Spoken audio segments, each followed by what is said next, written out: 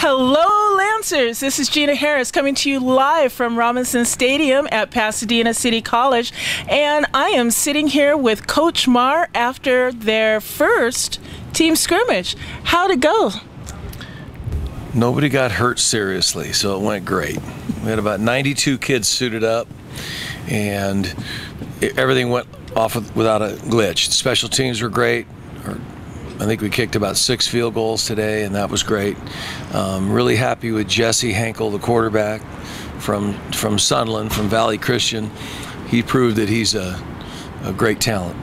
In general, how does the team look for the season? Well, we have to remain healthy. So we have a first group that's pretty good and a second group that's pretty good and then we you know we, we our depth we kind of run out of kids so we got to be really really careful about you know how we use certain people what I noticed was the hustle.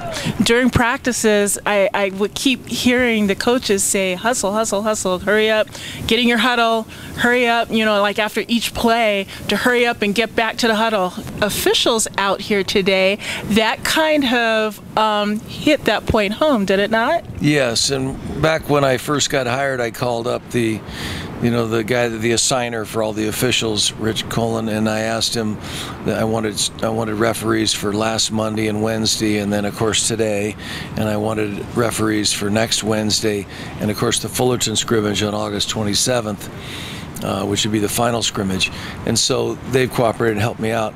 Like the scrimmage we had last Wednesday was wonderful. We did a two-minute drill, fast over with special teams attached to it, field goal and punt. We did a backed-up scrimmage where we put the ball at the minus one-inch line and, you know, demanded the offense fight their way out and get a first down before we had to punt and uh, and that went off really well. So the kids are getting an education on situational football, and that that helps a lot.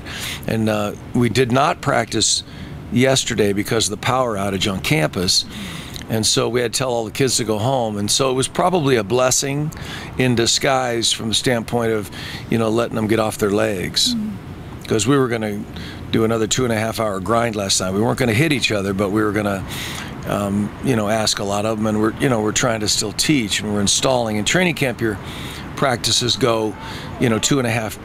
They can even stretch to three hours if you have a lot of creative early out things and you don't do that during the season. You know, your out, your practices will be in that one and a half hours to two hour range during the season. So so the legs get weary. You know, so we do ice baths. We'll have the kids come in the training room and, you know, submerge their whole body in ice, and it that feels really good when you when you're a football player. I think you guys look great, so I'm looking forward to great things coming from you. I appreciate it, and I, and I want to say thank you to Lee's Hoagie House up on Colorado Boulevard for providing the meal tonight.